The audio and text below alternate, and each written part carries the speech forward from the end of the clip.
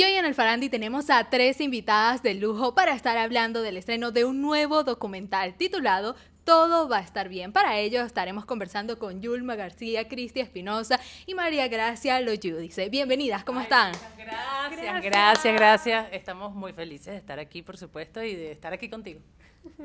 Bueno, bienvenidas. Principalmente quería preguntarles porque estuve leyendo un poco de toda su trayectoria y hay otro documental en la que también contamos con la participación de María Gracia, pero como personaje principal.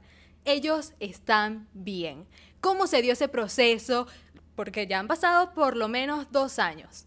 ¿Cómo surgió esa idea? ¿Cómo seleccionaron las personas que van a estar entrevistadas en este nuevo documental? Y por supuesto también vimos que tiene una duración un poco más extensa. ¿Cómo fue todo ese tratamiento de la idea? En efecto, hace tres años hicimos Ellos Están Bien. Fue un primer documental basado en la vida de María Gracia. Ella hace siete años y medio perdió a su único hijo y a su esposo en un accidente aéreo. Pero la manera en que ella llevó el duelo fue una manera poco común para el mundo. Y diría yo que fue algo muy estoico. Eh, y bueno, al final, pues todo el entorno, al verla bien, decían, ¿cómo estás haciendo? Yo estoy sufriendo porque tu hijo era mi mejor amigo o por mi hermano que era tu esposo y pues ella se convirtió en esa persona que en el pilar de todo su entorno. Poco a poco se fue sumando más y más gente, más y más gente. Los compañeros de Gianfranco del colegio, eh, pues estaban muy sentidos con su partida. Y así es que surge Juventud Plena, que ya en el primer documental narramos la historia del duelo de María Gracia y esa forma en que ella lo, lo llevó. En esta nueva etapa, este nuevo documental, que es Todo va a estar bien, vamos a hablar qué hizo ella con el duelo y de qué manera ha ayudado a tantas personas.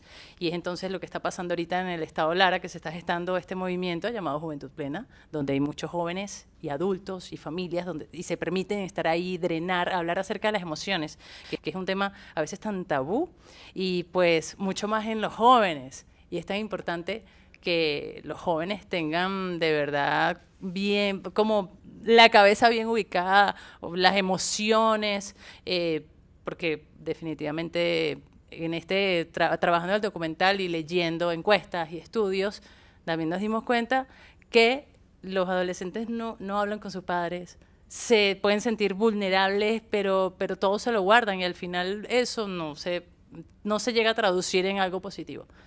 Afortunadamente ahorita en el estado Lara está ocurriendo esto, donde cientos de personas acuden y pues nuestra idea es que se replique en todo el país. Pero por lo menos María Gracia, hace dos, tres años cuando estaban con ellos están bien, ¿podrías definir en qué etapa del duelo estabas y qué ha cambiado por lo menos en este nuevo documental? ¿Cómo lo viviste?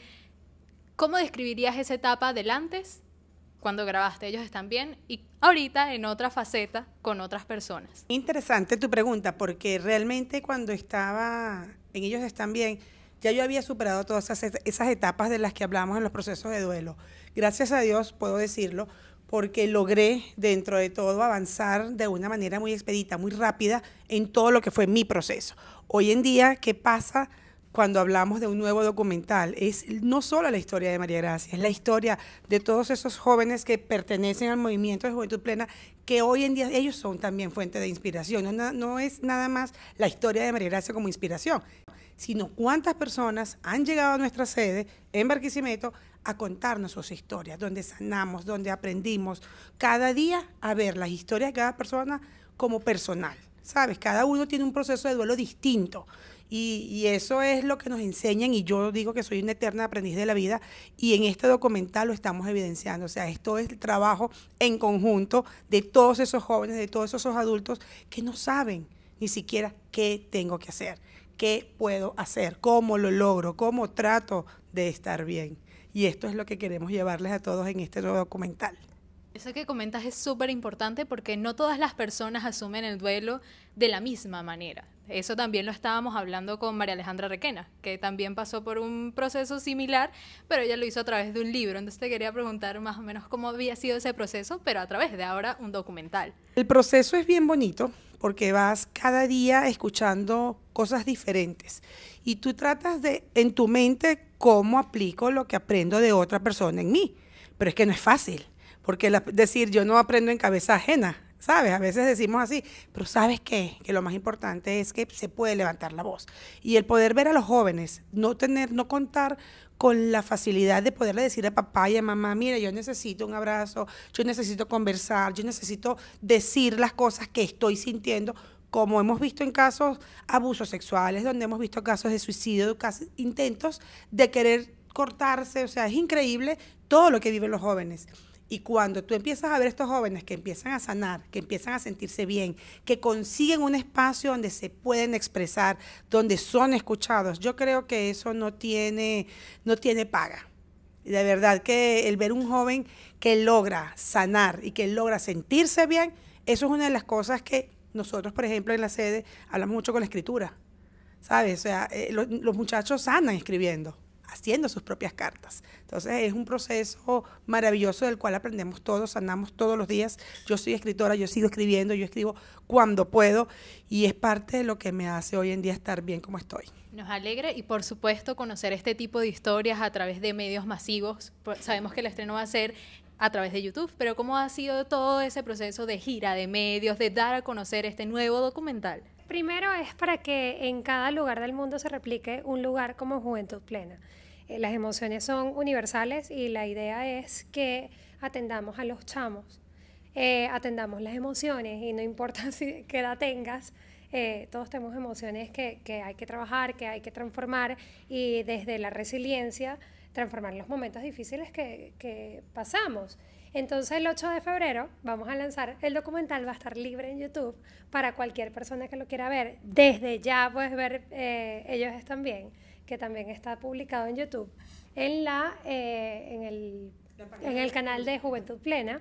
Eh, estamos muy emocionados, la receptividad ha sido súper chévere porque todos entendemos que hay una problemática importante en los jóvenes y creo que de ahí surge la idea inicial de hacer este documental, de darles a conocer a los chamos que hay una alternativa, que hay un lugar seguro al que pueden asistir, al que pueden acudir cuando algo no, no está tan bien y los mismos chamos se encargan de ayudarse entre sí, porque el staff de Juventud Plena está conformado por más de 10, 12 muchachos que, digamos que entre jóvenes se entienden y, y, qué mejor manera que, que, entre jóvenes ayudarse a transformar el dolor en, en amor, en resiliencia.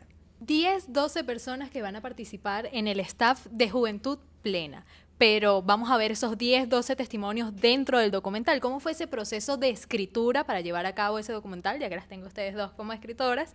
¿Qué tal? ¿Cómo fue plasmar esa realidad en tan pocos minutos? Yo creo que eso fue lo más retador.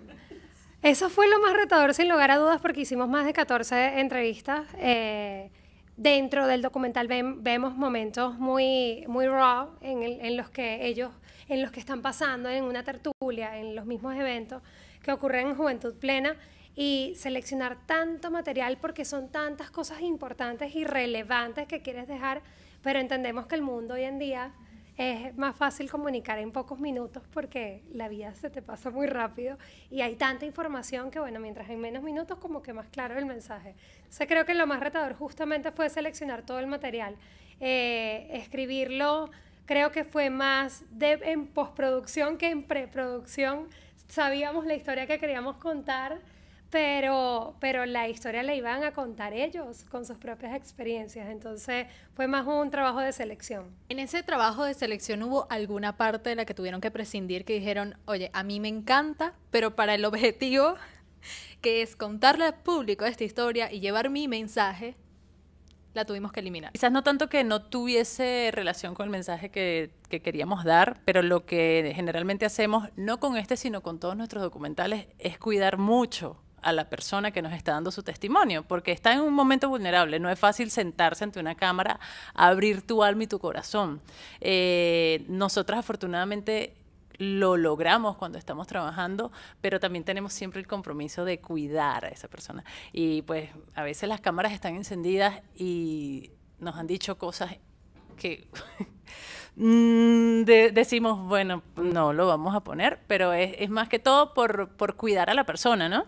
eh, que incluso a veces es como que, uy, me excedí, ¿verdad? Y no, pues tranquilo, este es tu lugar, haz lo que quieras, exprésate como quieras, pero básicamente nosotras pues cuando prescindimos de algo va creo que más en la línea de, de proteger a nuestro entrevistado. Lo más importante y eso hace los proyectos de calidad que ustedes han sacado y sobre todo centrados en el interés humano. Así que ya saben, no se pueden perder el estreno de Todo va a estar bien a través de YouTube. Yo les voy a decir brevemente, si estás pasando por un momento complicado, si te sientes mal, si estás triste, si no entiendes lo que te está pasando, escribe a arroba juventud plena. De verdad, te van a apoyar, te van a dar la mano, te van a escuchar y te aseguro que vas a sanar. ¿Y tú? Wow, muchas cosas que decir. La verdad que en este momento yo me siento plena, bendecida por todo lo que estamos logrando. Esto es un documental que puedes mostrárselo al mundo entero y que vas a ayudar, porque el simple hecho de compartirlo a alguien más que está pasando o atravesando una situación adversa, creo que va a ser una gran bendición para esa persona que lo va a recibir. Tú estás haciendo una gran labor por, compartirlo, pero lo que está, el que está recibiendo creo que se va a llevar la mejor parte.